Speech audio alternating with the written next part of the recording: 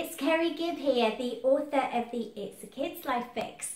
I am making this video to celebrate World Book Day. It's a really busy time for me. I'm in schools every day this week talking to children about being an author and I've made this video especially for all the children I have visited in schools over the last three years. It's been a really exciting time for me. Whether I visited you when I wrote the first book three years ago, whether I came to you after writing Arch Enemies, or whether it was more recently with Double Digits, it's been an absolute pleasure to inspire all you children in schools. And I'm going to continue doing that a lot more in the future as well.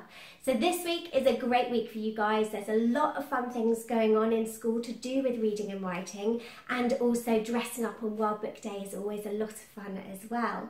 And to celebrate World Book Day, I am offering a giveaway on the new YouTube channel I have made.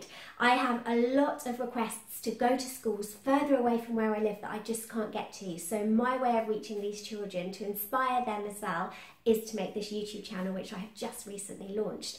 So to celebrate that and World Book Day and the new book I've released, I am going to give you the chance to win a great prize. You could win the brand new book, It's a Kid's Life Double Digits, signed personally by myself. But not only that, you will also win an It's a Kid's Life mug filled with goodies that you would find in Ben's Secret School Tuck Shop and you will also win an It's a Kids Life notebook for writing down your own ideas with some fabulous stories.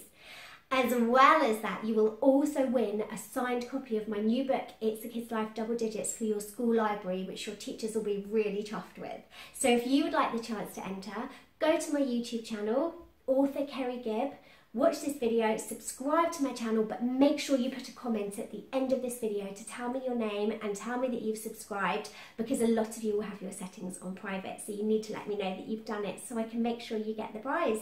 So good luck to all of you. Have a really great week at school with World Book Week and I'm sure I will see you again in the future. Bye.